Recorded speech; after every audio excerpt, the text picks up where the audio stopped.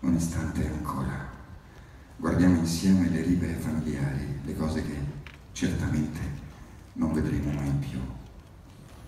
Cerchiamo di entrare nella morte a occhi aperti.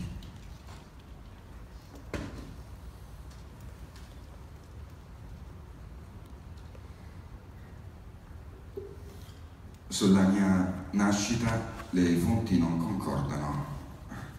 Alcune sostengono che nacqui a Roma dove mio padre stava svolgendo importanti funzioni pubbliche, altre che nacqui a Italica a 7 km da Siviglia, colonia romana in terra ispanica nel 76 d.C.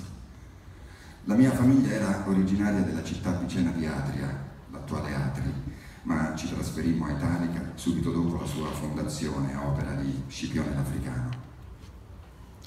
Mio padre, Publio Elio Adriano Afro, era imparentato con Traiano. Mia madre, Domizia Paolina, era originaria di Cadice. Avevo una sorella maggiore, Elia Domizia Paolina, una nipote, Giulia Serviana Paolina, e un pronipote, mio pedanio Fusco Salinatore. I miei genitori morirono nell'85-86 quando avevo soltanto nove anni. Dopo la morte genitori, Traiano, che non aveva avuto figli, divenne di fatto il mio tutore.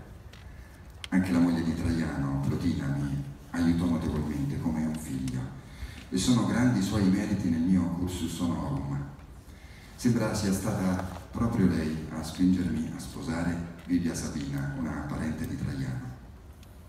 Il mio matrimonio favorì ulteriormente la mia carriera e mi avvicinò alle stanze del potere, grazie anche agli ottimi rapporti con mia suocera Matidia. Per il resto il matrimonio fu un fallimento. Comunque dopo che l'imperatore Nerva ebbe nominato Traiano suo successore presentandolo in Senato nel 97, la mia strada fu notevolmente agevolata.